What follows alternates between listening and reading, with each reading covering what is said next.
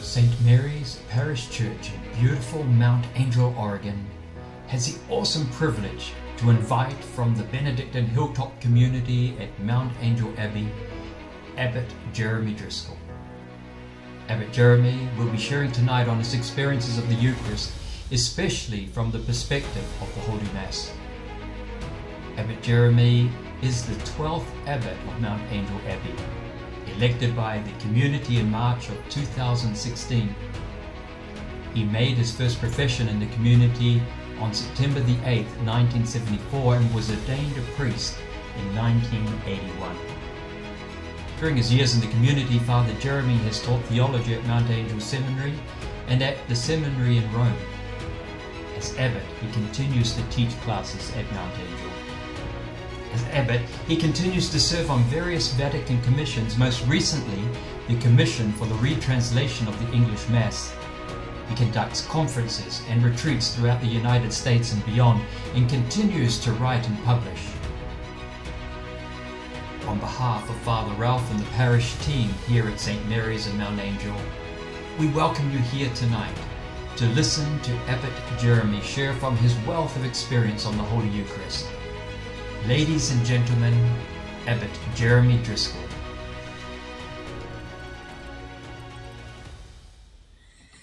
So thank you, Father Ralph, and thanks to all of you for this invitation to be with you in your parish and to talk about holy things. Uh, I'm glad that uh, Father Ralph moved the ambo here. Uh, if it were where it normally is, you might think uh, it's going to be a very long homily, you know. but uh, yes, I'm invited uh, to give you a substantial conference to help us think together about what we do in this space, especially the celebration of Mass in this space. This is the year in, in our country uh, of a Eucharistic revival where the church in every part of the, of the country is making an effort to understand the Mass more deeply. And it ought to be something that can be um, something that we can continually grow in. I, I, hope to give you some, some clues tonight that will help you to see, oh, yes, that's what it means doing what we do every Sunday when we're here. But also a way in which every time we come to Mass, I think the mystery can, can deepen more and more for us. And so that's my hope of, of uh, what I can do uh, in the short, short hour that we have to be together. Um, some years ago, uh, I wrote a book that had the title, What Happens at Mass. I know that some of you know that book, and I, I can I can share with you the joy that I've had in reactions to it. That it seems to it seems to help people. I tell you, the, the, voice in which I wrote that uh, book, uh, it was that it ought to be possible for any serious Catholic that makes the effort to understand the Mass at great depth. God would not have set things up in such a way that you have to be a trained theologian to understand Him. You might have to be a trained theologian to write the book, but not to understand it. And not, uh, you don't need to be a trained theologian to understand the Mass at depth. Uh, but you need to make an effort. And tonight's being together can be that effort. The title, What Happens at Mass, is not a question, it's a statement. I want to talk about what happens at Mass. And to put it briefly, at Mass, God speaks, God speaks, and God acts to save us. God acts to save us. Mass begins you can, you can meditate on this. Mass begins when you're at home getting ready to come here. While you're at home getting ready to come here, others are coming too from all over. And everyone arrives from a different place in life and with a different story behind them the story of faith. How is it that you believe? How is it that I believe? We all believe because of God's action in our lives, bringing us to faith through others. We've all received our faith from somebody else. And slowly but surely, faith gets us all together in the church and this assembly, where the assembly is poised for Mass. I like to meditate on this, and, and you could do the same. Watch people coming, watch yourself come. That's the church gathering. That's God's grace at work in your lives. And He brings us all together so that He can speak, as I said, so that He can speak to us, and so that He can act to save us. I think it can be useful if I talk about four parts of the Mass that you're familiar with, but to draw your attention to and to watch the progression from one of these parts to the other. After we have gathered, after we're all here, after the church is assembled, uh, the community begins to sing, and the procession with ministers comes down the aisle. The priest at the back, perhaps with the deacon, perhaps with other ministers, coming and kissing the altar, carrying the book in procession. Uh, this, is a, this is the community welcoming and, and seeing, if you will, seeing, oh, Christ is present here. Christ is present in his priest. Christ is present at the head of the assembly in his priest. But Christ is, is present in the whole assembly because this, this action of the Mass is going to make the church, it's going to make us, the church, become his body in the world. Anyway, the first of four, here, here's the four parts of the Mass I want to talk about. I want to talk about first the liturgy of the Word, secondly, the bringing of gifts of bread and wine to the hands of the priest and placing them on the altar. Third, the transformation of the gifts in the course of the Eucharistic prayer. And fourth, our communion in the gifts, our reception of communion. This is a dynamic flow and movement that has a, a deep kind of sense to it, and one that you you know these four parts of the Mass. I want to think about them more deeply with you in a couple of moves. The, the liturgy of the Word, it always begins on a Sunday Mass with a reading from the Old Testament. This is followed by a responsorial psalm, and then there's a reading from a letter, the, uh, a, a, brief uh, passage from the letter, usually from the letter of Paul, the apostle, but the other apostolic letters are also read, and then the gospel. Um, the Old Testament reading is read by us Christians the old Jewish scriptures that were written before Christ came, they're read by us Christians in our assemblies because we believe that all of those texts ultimately speak of Christ. They foreshadow Christ. They are the preparation for his story. In a sense, one would need and to know the whole, and, and, and we as Catholics, we have a sense, we know kind of the broad whole story of the Old Testament. Um, You've heard of the Exodus. They come out of Egypt. They wander around in the desert. You've heard of the Messiah. You've heard of King David. You've heard of the prophets. This is, this is several millennia of history. And it's God's history. It's God's working to form a people, the nation Israel, and to raise up within the nation Israel a Messiah who is nothing less than God's own Son come to us in the flesh. So we need, this is why we read from the Old Testament. We don't read the whole Old Testament, but one part symbolically is meant to represent the whole. But let me tell you something important about whether it's the Old Testament or the Apostle or the Gospel that's read. The church believes that when the Scripture is read in the believing assembly, it's not just somebody I don't know how to put it. It's not just somebody reading something. We say, the word of the Lord. It's God speaking through human language. And God's word has a power to it. God's word is ultimately crafted by the Holy Spirit. We say it in the Creed. He spoke through the prophets, meaning he spoke through all the Old Testament. God's word is crafted by the Holy Spirit. And God's word, because it is God's word, never grows old. So every time a scriptural passage is read in the church, when we are gathered in faith, what's read there becomes the very event of this liturgy. God is doing in your minds and hearts what the Word says.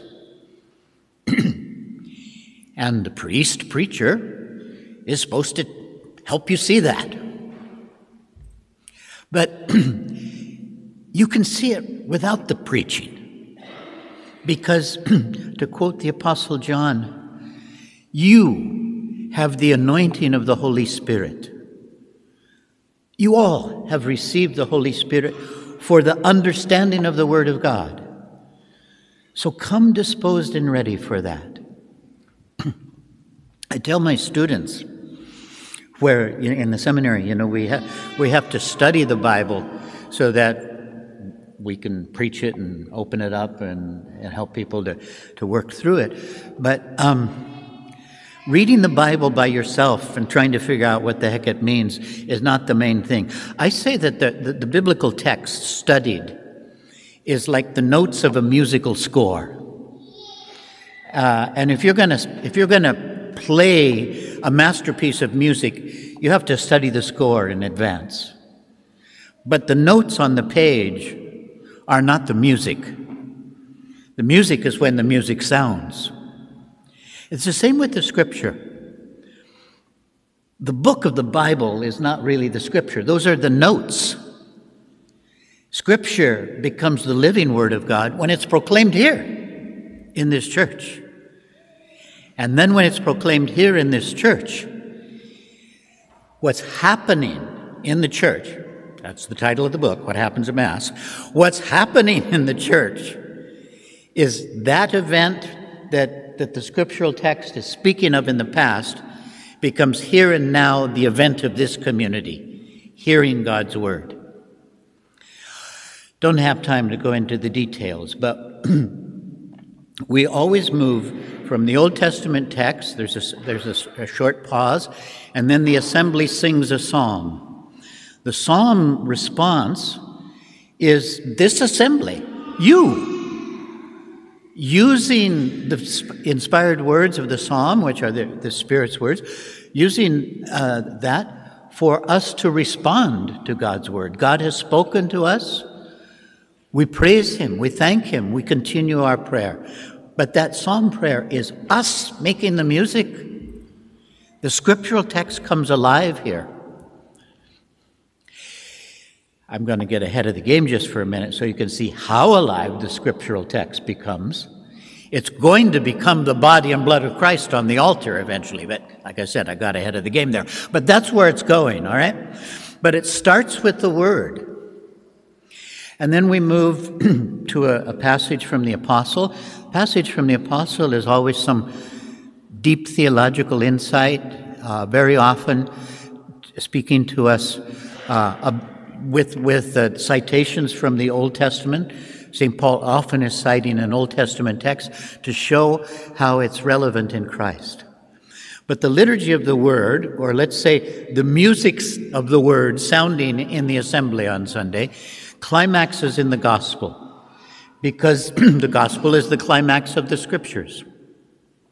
The gospels tell the story of Christ. And the gospels have their own climax.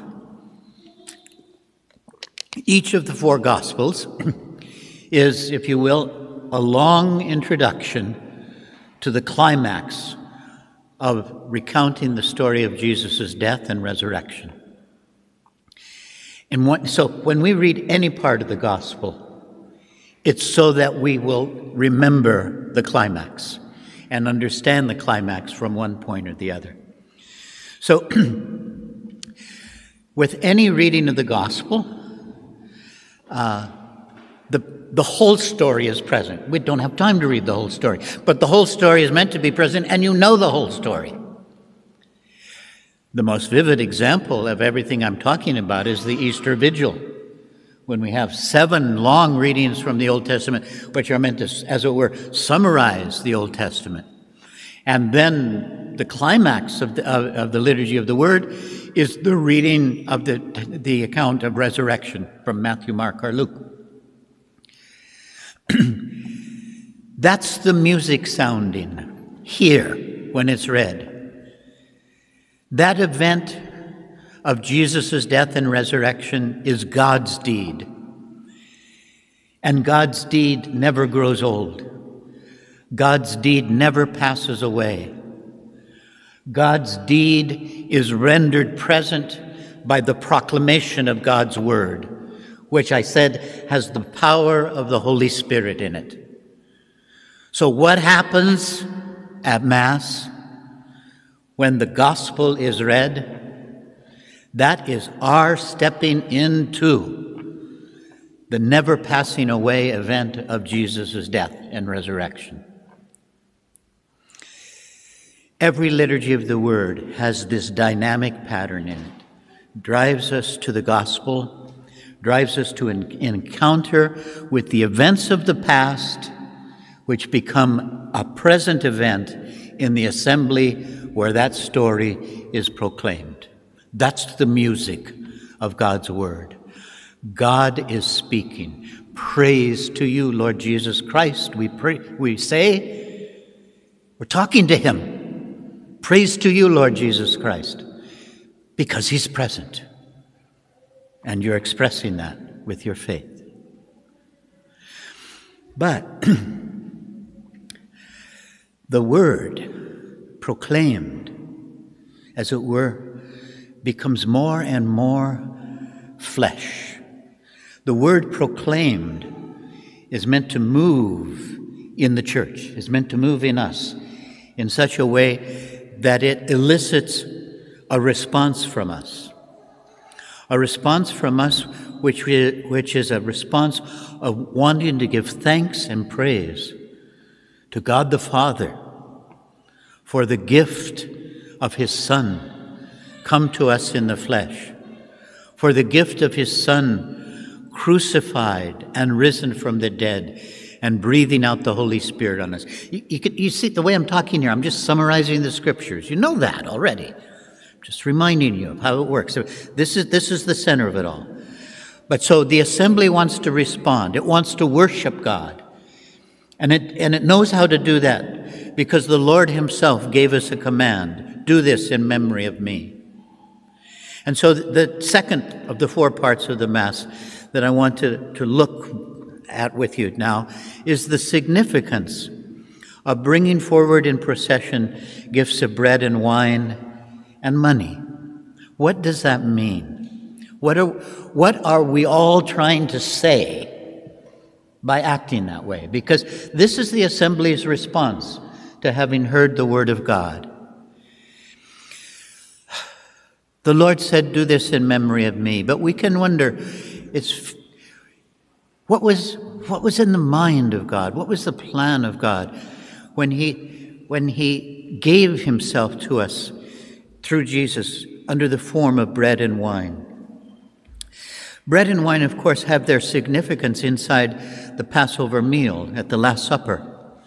Uh, they, they speak the story, the Passover meal, which is, which is Jesus' Last Supper. The, the Passover meal speaks the whole story of Israel's exodus from Egypt. But there's more meaning to bread and wine than just its meaning inside the Passover meal. Uh, the texts of the liturgy say it itself fruit of the earth and work of human hands. These, these signs, bread and wine, I, like, I, I put it this way these are not uh, purely natural symbols. What do I mean by that? Water is a purely natural symbol. God makes water. Okay? Um, apples are a purely natural symbol. God makes apples. The sun is a symbol. God makes the sun. God makes darkness. All those are symbols that the liturgy uses. But God doesn't make bread and wine. Human beings do. And that's some of its significance. Right? We couldn't do it without God. I know that. Uh, you got you got to have wheat. You got to have sun. You got to have dirt. You got to have time. Uh, you got to have grapes. You have to know what to do with them. But this is this is this is human beings and God making something together, and it's actually what we do all the time. We make food.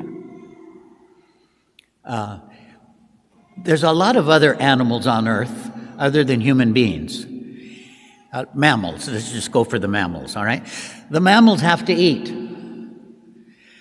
But we're the only mammals that prepare our food together, work it over, put it on fire, wait for something to mature, all, all that stuff. It's, our, it's food shared is human existence. The world has to stay alive by eating. And so, in some sense, the whole of our work and existence is embedded in these two basic kinds of food bread, the staff of life, and wine, not needed, but making life extra something special. Those are the two kinds of signs fruit of the earth and work of human hands. And these are the, these are the parts of the meal that Jesus himself used uh, to give his disciples the night before he died a sign in which he embedded a meaning inexhaustible in, in what is hidden in the signs of bread and wine. You know the story of the supper. We, we say it in the course of the Eucharistic prayer in a stylized way. On the night before he died, Jesus took bread in his sacred hands and with eyes raised to heaven, giving thanks to his Father, he broke it, gave it to his disciples, and said, Take this, all of you, and eat of it, for this is my body. Take this, all of you, and drink from it, for this is the chalice of my blood. Do this in memory of me. What Jesus was doing at, the, at that Last Supper, historically speaking, was giving to his disciples a sign that would help them to penetrate something that would, that in fact, was meaningless to them while it happened, namely his death on the cross. The disciples went into huge crisis as Jesus dies on the cross.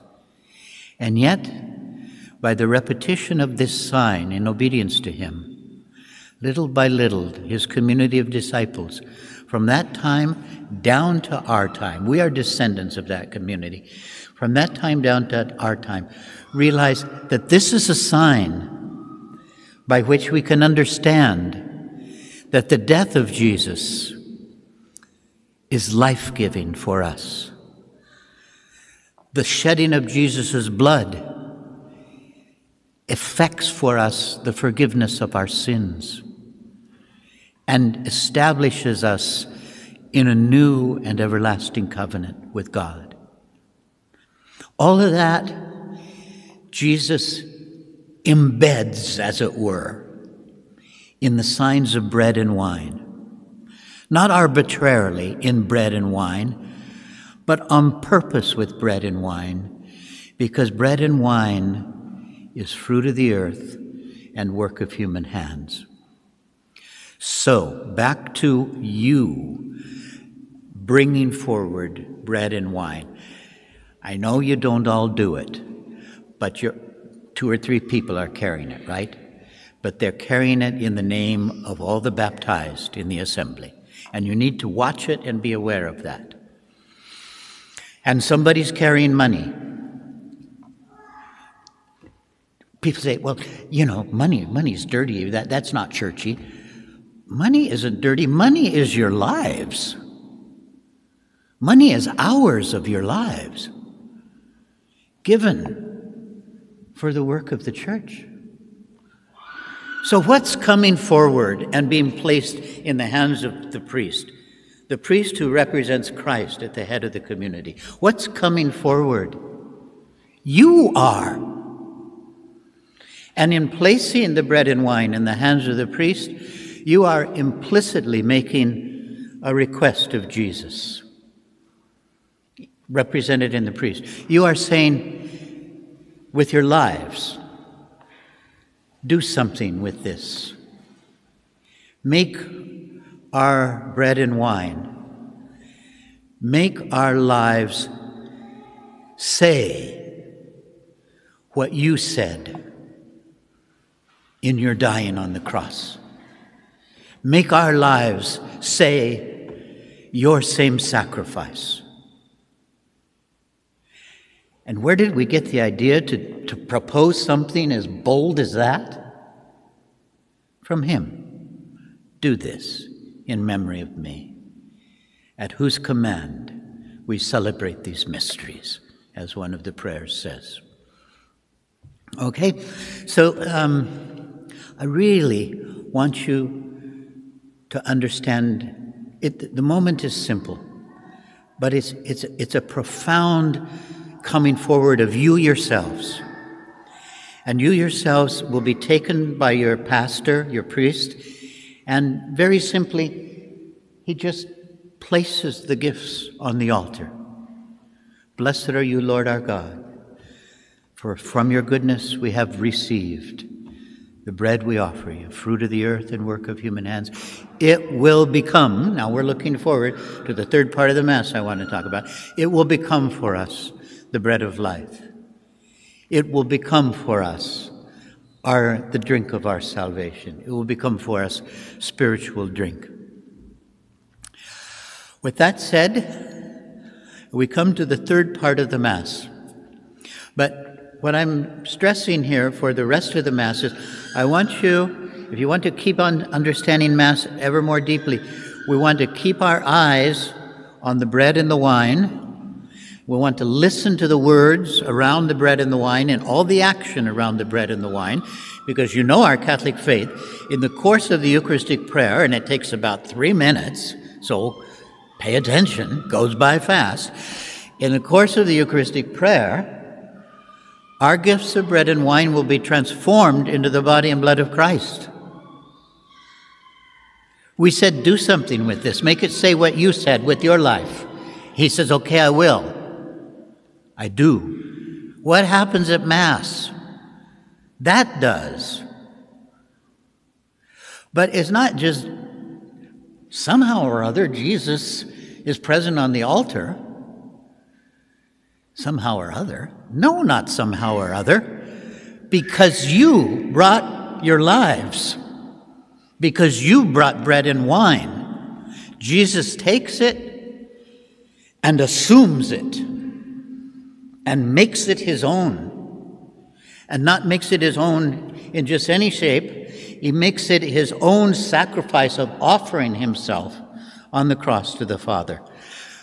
Difference being now we are with him in the offering. This is what is affected by, at Mass. So, we come now to the third part of the Mass I want you to look at, which is called the Eucharistic Prayer. And uh, I like very much how uh, the preparation of the gifts finishes. After the gifts are placed on the altar, uh, the priest will say to the assembly, Pray, brothers and sisters, that my sacrifice and yours may be acceptable to God the Almighty Father. I, I like that phrase, my sacrifice and yours. Uh, it's, it's Christ, as it were, saying, My sacrifice is yours. Uh, in Latin, Latin has a nice little nuance. You know, other languages have little words. There's got there's two words for Latin in uh, there's two words for and in Latin. One is et, and the other is ac. Uh, and the word in this prayer in, the original Latin is ac, meum ac vestrum sacramentum. And ac will take the, the and word and throw the weight on the second word that's coming. So it's like Christ is saying, pray that my sacrifice, and indeed yours too, may be acceptable to God the Almighty Father. So that we're all subsumed into his sacrifice. And then you all stand and say, May the Lord accept the sacrifice at your hands. Beautiful moment. Enjoy it, mean it, stand up and say it. But then we're on our feet. And then the priest uh, starts the Eucharistic prayer with this beautiful dialogue The Lord be with you. And you can say, Why is he saying that again? This is the third time. Didn't he think you got it the first time? No, every time the, the priest says, The Lord be with you, it's a little liturgical sign. A new section is beginning. Get ready. The Lord be with you is the priest saying, You're baptized. Wake up. And you say, And with your spirit. And that's like saying, Well, you're the priest. Be the priest. Okay? Two roles, all right? And then he says, All right, I will be the priest. Lift up your hearts. And you say, Well, we've already done that. Okay? All right. We have lifted them up to the Lord. Then the priest says, Now we can do business. Then let us give thanks to the Lord our God. You know that the word thanks in Greek is Eucharist. Let us do the Eucharist now. Let us give thanks to the Lord our God. Um, I'm going to read to you um, a page from what is call, uh, called, uh, it's kind of a, a, dull title for a beautiful piece of, of church teaching. Uh, every liturgical book has at the beginning of it what is called the general instruction. And um, there, there, there's, a, there's a general instruction of the Roman Missal, which is actually official church teaching with the force of canon law. At the beginning of that big red book that we pray out, you, you read the first 60 pages is the church's official theology of every part of the Mass and how it's to be understood. You can read it if you want. It's actually beautiful. Uh, seminarians and priests read it and learn it, and, and, it, and it's wonderful. But I'm just going to read you uh, what it says about the parts of the Eucharistic prayer. I can remember years ago when I used to celebrate Sunday Mass, uh, sometimes in the Silverton parish, and uh, I did that for a number of years, every other Sunday, and I can remember a little girl once telling me, I was uh, trying to teach her a little bit about the Mass, and she said, uh, I was going to go into the Eucharistic prayer, and she says, Oh, that's that long prayer that the priest just prays. And I said, No, honey, it isn't just the long prayer that the priest just prays. But I think that we kind of experience it that way. Um, let me read you what. Uh, what the documents say, and let's see if we can't go there together, if you're not already there already. It says, Now the center and high point of the entire celebration begins, namely the Eucharistic prayer itself. That is the prayer of thanksgiving and sanctification. The priest calls upon the people to lift up their hearts toward the Lord in prayer and thanksgiving and he associates the people with himself in the prayer that he addresses in the name of the entire community to God the Father through Jesus Christ in the Holy Spirit. I know it's a long sentence, but let's just recover that. It, it should be easy for you to remember because you've been at Mass hundreds of times. The priest associates the people with the prayer. You must be aware that you are praying this prayer as the assembly as much as the priest is. We'll, we'll explain how in a minute. But uh, it's a prayer that he addresses, the priest addresses, in the name of the whole community. Because the, the priest is, is saying again and again throughout the prayer, we. He's speaking about all of us, huh? And this, this is Christ at the head of the community saying, We. What an honor this is, huh? What an honor this is. And then, um, furthermore, the meaning of this prayer is that the whole congregation of the faithful joins with Christ. Did you hear? I'm not, I'm not done with the sentence, but the meaning of this prayer is that the whole congregation of the faithful joins with Christ in confessing the great deeds of God and in the offering of the sacrifice. The priest does not offer the sacrifice alone.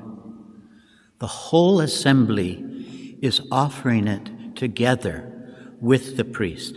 It, it, will, it will repeat as we go along, but it says, For this reason, the Eucharistic prayer requires that everybody listens to it with reverence and in silence. Listening is active participation. It's not just the prayer, the long prayer that the priest prays. Listen and follow it with intention, reverence, and silence. This takes effort. Not too much, but some. Then it says the main elements of the Eucharistic prayer can be distinguished from one another in this way. And there are eight. You don't have to remember them, but you can watch them go by as you listen to the prayer. And I just think hearing them articulated can help you understand what they are. The first, thanksgiving, expressed especially in the preface, in which the priest, in the name of the whole of the holy people, glorifies God the Father and gives thanks to Him for the whole work. It always begins the same way. Uh, we, the preface dialogue, which is where the prayer begins, let us give thanks to the Lord our God. And you all respond, it is right to give him thanks and praise. And then actually the priest starts from that moment on, not speaking back and forth anymore, but is speaking to God the Father in the name of the whole community. But the first thing he says is he actually he grabs the words right out of your mouth. You said it is right to give him thanks and praise. The priest says, Father, it is truly right to give you thanks and praise, always and everywhere to give you thanks through Jesus Christ our Lord. So thanksgiving uh, is one of the dimensions. And the Eucharistic prayer always begins with this thanksgiving of the preface, and in the middle of the preface, the reason for our thanksgiving to give you thanks, Lord, Holy Father, Almighty and Eternal God, for you, and then it, it there, there's 90 prefaces, all right, which is called richness. Okay, the church is rich in prayer. Okay, it's a treasury of prayer. Uh, so 90 prefaces, 90 different ways of saying, "We thank you for this." But it always concludes in the same way. It concludes in the same way, and so we ask you to join our voices with the voices of angels in heaven who are constantly singing, Holy, Holy, Holy Lord, God of hosts. That's the second part, the acclamation or the sanctus, by which the whole congregation, joining with the heavenly powers, sings the Holy, Holy, Holy. Listen to this underlined part. This acclamation, which constitutes part of the Eucharistic prayer itself, is pronounced by all the people with the priest. So this is, this is all the people are saying this part of the Eucharistic prayer with the priest. You need to be aware that the, that the Sanctus or the Holy Holy is part of the Eucharistic prayer. I think we tend not to be aware of that because after the Sanctus, uh, we change gestures. From standing, we kneel, and then the priest begins a different dimension of the prayer. And in, in that different dimension, it sort of seems, well, now he's, he's, he's off to the races, you know, now he's beginning. But he's not beginning. We're already, we've already begun with the preface. We're already deep into it with the Holy Holy, and he continues then with the next part of the Mass. And the next part of the Mass, uh, use a, a big Greek word that the, that the tradition uses. It's called the epiklesis, which is a Greek word uh, that we use for the invocation of the Holy Spirit. But that's the next part of the Mass, where the priest extends his hands over the gifts and with some form of language or other, begs the Father to send the Holy Spirit on these gifts for their transformation. Let me just read one example for you. Um, you're, you're, familiar with it, but the language is really wonderful, and the gesture um, that is, in, you want to watch this. I said, watch the bread and wine, watch the gestures over the, the bread and wine, pay attention to the words. So the priest suddenly extends his hands over the bread and wine and says, Therefore, O Lord, we humbly implore you by the same Spirit, graciously make holy these gifts we have brought to you for consecration, that they may become the body and blood of your Son, our Lord Jesus Christ, at whose command we celebrate these mysteries. It's an elegant way of saying it was his idea, so do it. Okay? At whose command we celebrate these mysteries. You think it's not going to happen? What happens at Mass? The Holy Spirit will do with the bread and wine that you brought forward, which is to say, your lives. The Holy Spirit will form from that material the same thing that He did in the womb of the Virgin Mary. He formed a body for the eternal Son. He formed the whole life of Christ such that everything of the life of Christ could say who the Father is, who God is. The Holy Spirit formed that. The Holy Spirit formed the cruel crucifixion of Jesus into a life giving moment of salvation for us. The Holy Spirit raised the dead body of Jesus from the dead, such that the risen body of Jesus could breathe out the Holy Spirit. That same Spirit is on our altar now, transforming the gifts of bread and wine into the body and blood of Christ. This is huge, unbelievable.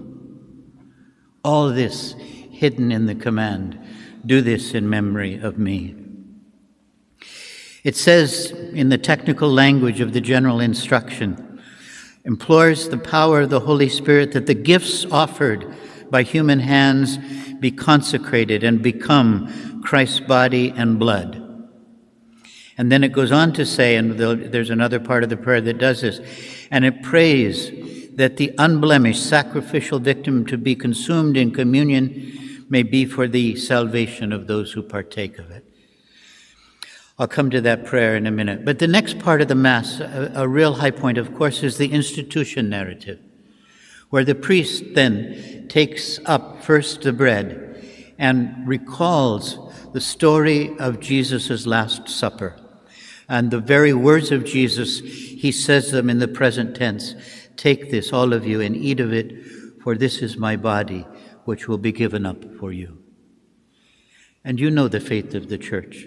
It is your faith, too, that the action of the Holy Spirit and the words of Jesus effect the transformation of bread and wine. Your lives, just not bread and wine from the sacristy, it's your lives. You intended it. Your lives are transformed and the bread and wine are transformed.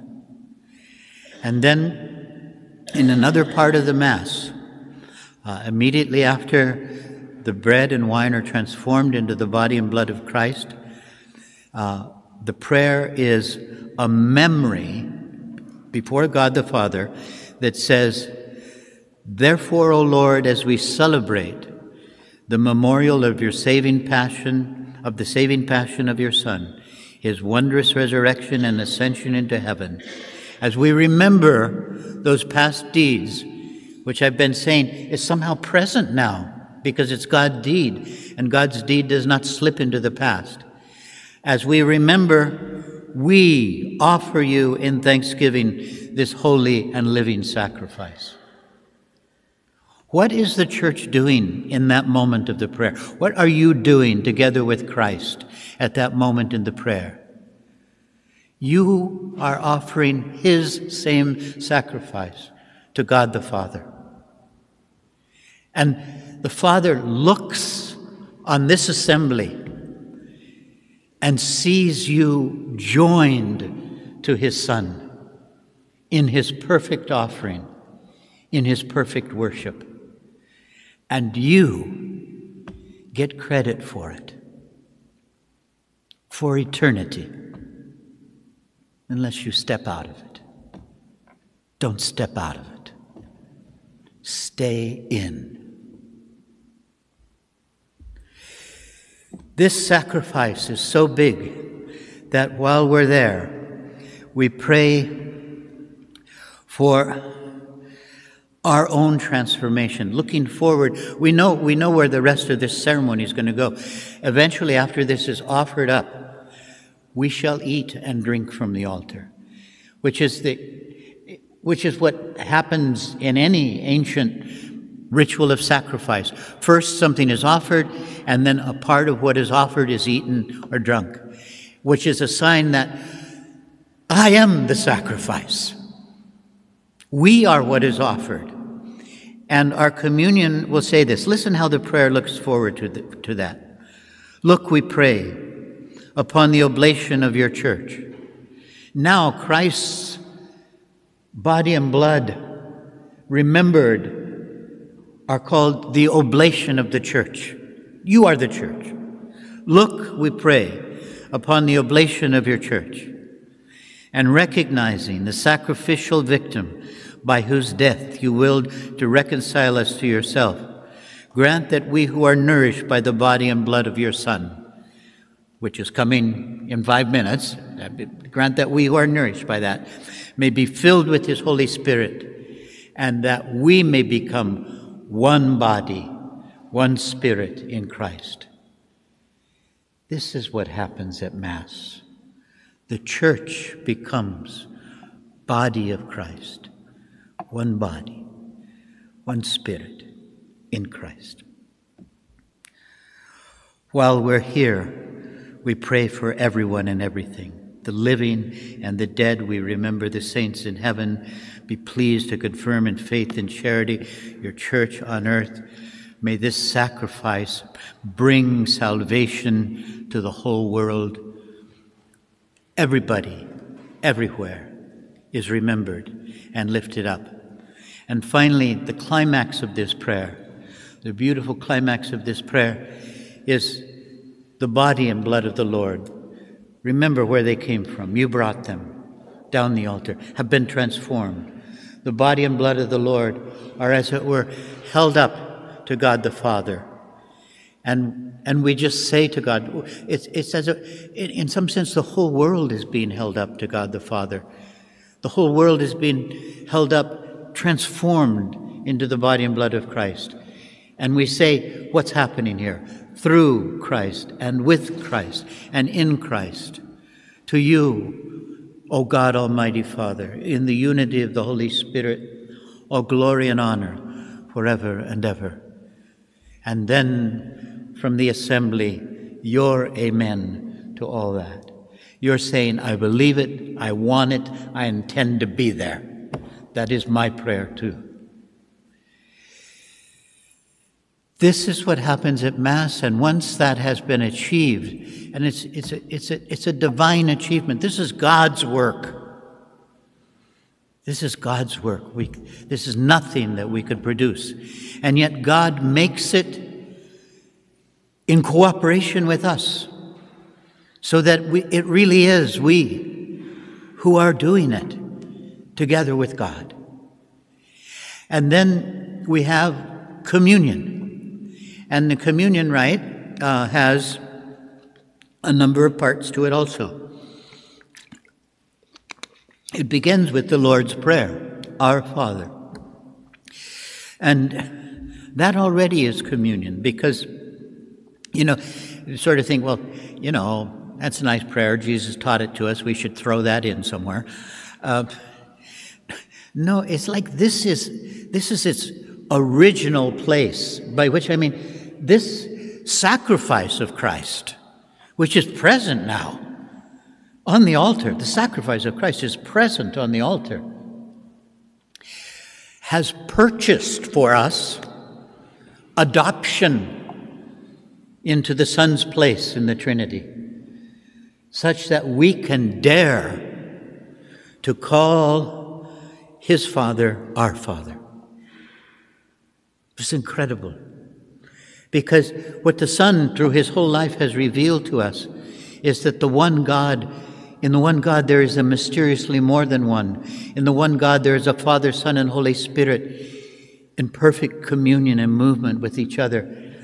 This is the this is a movement into which we have been taken, such that we can say to the source from which Jesus and the Spirit themselves come, Our Father, who art in heaven, hallowed be thy name. Thy kingdom come, thy will be done on earth as it is in heaven. This is, this is communion. To be able to t- talk to God on such intimate terms, to speak to Him in the very words that Jesus, in a sense, from all eternity said, but from all eternity, you know, he didn't have human words. But when He becomes incarnate, He has human words and says the same love for the Father that He has said from all eternity, but now in human words, which He's purchased for us to say by His sacrifice, we say it. That's communion. Communion is being able to say by rights, Father, to God. And then to ask the Father for everything. Give us this day our daily bread. Forgive us our trespasses as we forgive those who trespass against us. Lead us not into temptation. Save us from the evil one. For we are still here in this world. That's communion. Communion is also receiving peace from Christ our Lord. Peace I give you. My peace is my gift to you. And give it to one another. Peace be with you. Offer each other the peace. This is communion too. It's communion reminding us that yes, we are about to receive the body and blood of the Lord, which is meant to be intensely personal and it unites us, each of us, with God in an intensely personal way.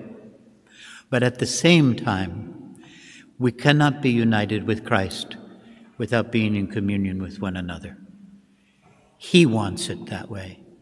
He has set it up that way.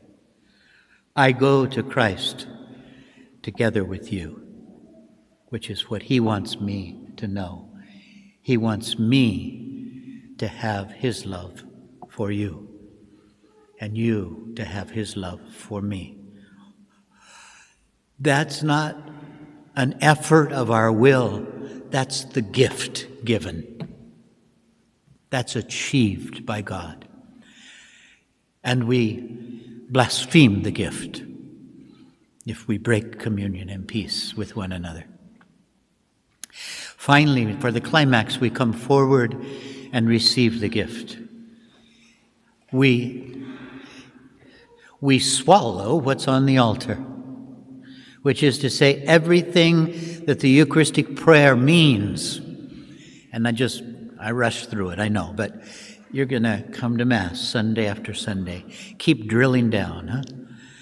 Uh, look at those prayers in, in a, in a Magnificat or a Missalette before. Read those Eucharistic prayers in advance. Prepare yourself take the language seriously. But, uh, but what we see then, if I say if we swallow what's on the altar, then we become the sacrifice. Our lives do. Our lives become the offering. Our lives become the pleading for the world's salvation and peace. And finally, after communion, the communion rite itself closes with the post communion prayer and an amen. And then the priest says it all over again the Lord be with you. And that, there he goes, saying it again. But that's a sign that communion's over and the last part is beginning. And the last part is a quick little part, but it's a very important part. It's called, it's, it, somehow it doesn't come off well in English, but it's called the dismissal or the sending. Uh, but we sort of experience it like it, it's over, you can go home now. But this is not what's happening. Uh, there's this, uh, it's a being sent. It's, it's the churches being sent. I can use the words that Jesus uses uh, on, on the evening of the resurrection with the disciples. He breathes on them and says, Receive the Holy Spirit.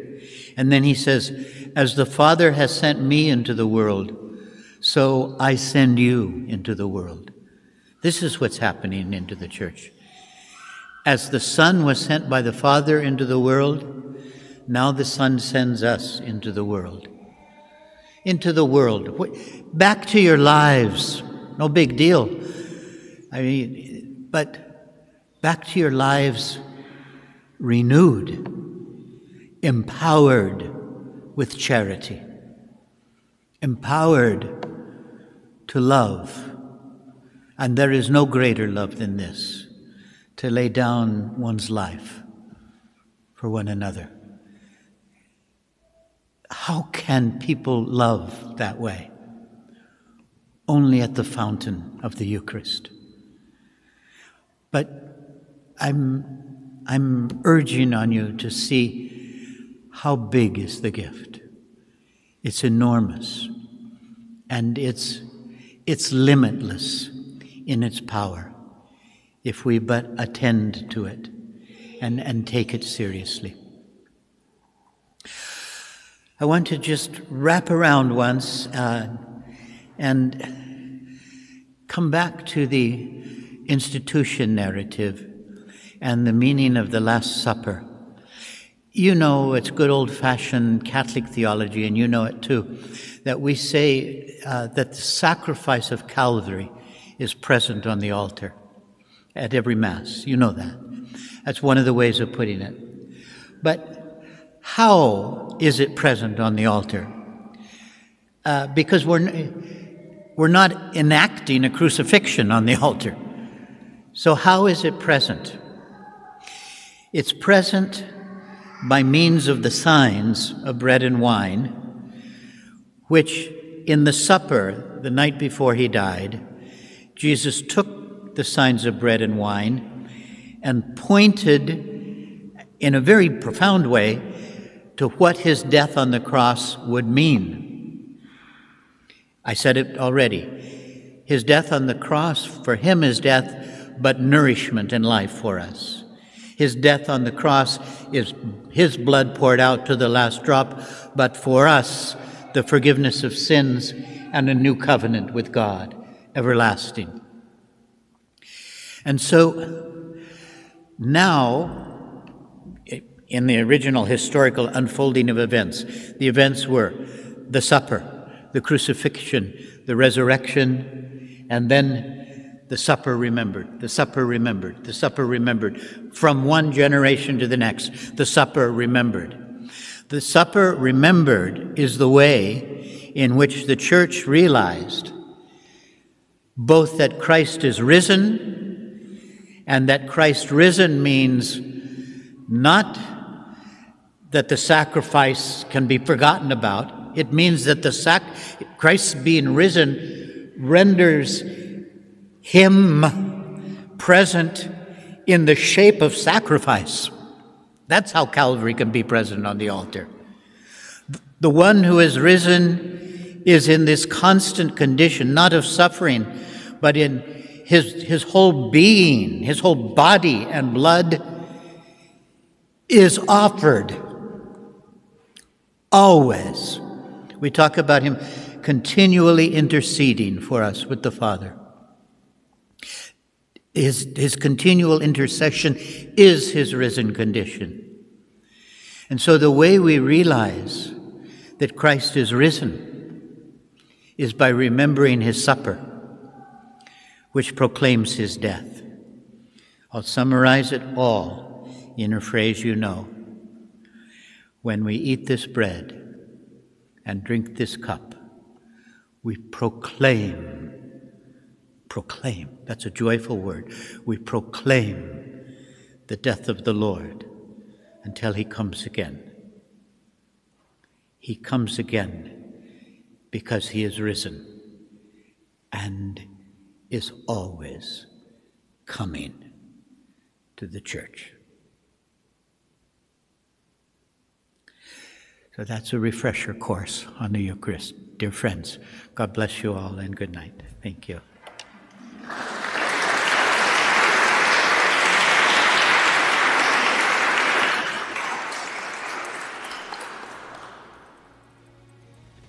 Thank you so much, Abbot Jeremy. We're so appreciative to, to have you with us. Um, I know I'll be thinking a little deeper about what I'm doing at Mass for the next few weeks, and I hope you will too. Um, we'd like to receive your blessing, so why don't you begin with that wonderful phrase you love so much? The Lord be with you? Yeah. all right. I can give you the, the what is a privilege of an abbot, um, uh, a pontifical blessing. Uh, I know you know the answer to the Lord be with you. Uh, then the pontifical blessings next line is Blessed be the name of the Lord, now and forever. You know that one? Blessed be the name of the Lord, now and forever is your line.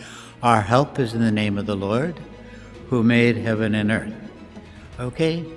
So, stand. The Lord be with you. Blessed be the name of the Lord, now and forever.